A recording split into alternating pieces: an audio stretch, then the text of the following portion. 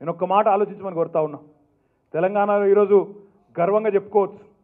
తొమ్మిదేళ్ళలో ఏం చేశారు మీరు అంటే తలసరి ఆదాయం భారతదేశంలోనే నంబర్ వన్ స్టేట్ ఏది అంటే తెలంగాణ అని చెప్పి తెలంగాణ బిడ్డలుగా గర్వంగా చెప్పుకోవచ్చు. ఇవాళ రాహుల్ గాంధీ వచ్చినా నరేంద్ర మోడీ వచ్చినా తెలంగాణ అభివృద్ధిని కాదనలేని పరిస్థితి అన్నమాట వాస్తవం. పర్ క్యాపిటల్ పవర్ కన్సంప్షన్లో మనమే నంబర్ వన్. తలసరి ఆదాయంలో మనమే నంబర్ వన్. భారతదేశంలో ఇంటింటికి నల్లబెట్టి నీళ్ళు ఇచ్చినా రాష్ట్రం ఏది అంటే తెలంగాణ. అత్యధిక పంచాయతీ అవార్డులు గెలిచేదేది తెలంగాణ.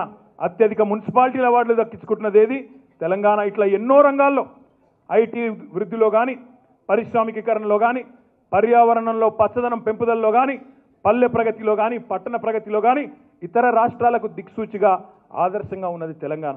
ఇది నరేంద్ర మోడీ కాదని లేడు రాహుల్ గాంధీ కాదని లేడు. అందుకే ఏం చేయాలా? కేసీఆర్ రెండు వేల పెన్షన్ ఇస్తే నేను నాలుగు వేల పెన్షన్ ఇస్తానని చెప్పి బుకాయించాలా? మభ్యపెట్టాలా? కేసీఆర్ గారు పదివేలు రైతు బంధు ఇస్తానంటే నేను పదిహేను వేలు ఇస్తానని చెప్పి వేలం పాటలో అర్రాస్ పాటలో పాడినట్టు ఇవాళ ఓట్ల పాటలో ప్రజల్ని గందరగోళం చేయాలన్నదే వాళ్ళ ఎత్తుగడ.